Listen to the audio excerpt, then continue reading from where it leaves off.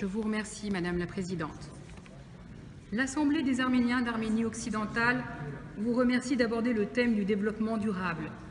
La contribution du patrimoine à un développement humain durable est d'une importance majeure et nous accueillons avec beaucoup d'honneur et félicitons les efforts déployés aujourd'hui par l'UNESCO qui tient en ce moment même et concomitamment à celle du MEDPA sa 40e session pour la protection des monuments et sites sacrés.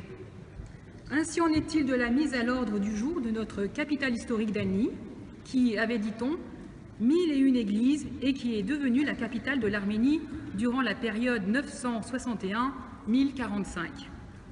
Nous sommes convaincus que l'UNESCO est en mesure de préserver ses valeurs historiques, nationales et chrétiennes, et c'est pourquoi, pour protéger le développement durable du patrimoine des Arméniens autochtones, il faudrait tout d'abord commencer à rétablir en premier lieu la vérité historique et la vérité sur l'exacte dénomination et la nature de la ville d'Ani, qui se trouve en Arménie occidentale et non pas en Anatolie orientale.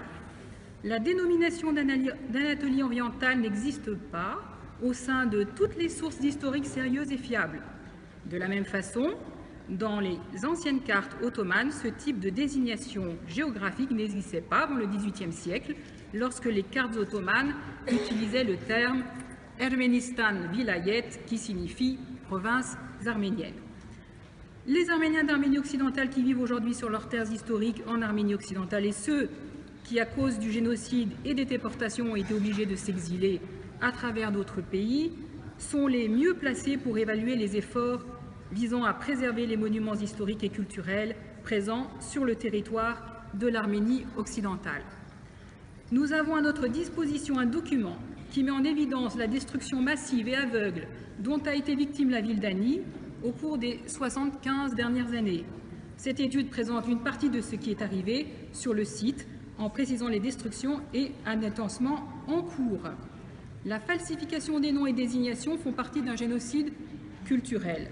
Les Arméniens d'Arménie occidentale informent le MEDPA que tout d'abord, relativement à l'article 8 de, la déclaration, les autochtones, peuples et individus ont le droit de ne pas subir d'assimilation forcée euh, ou de destruction de leur culture et que les États mettent en place des mécanismes de prévention et de réparation efficaces. Cet article 8 n'est pas respecté.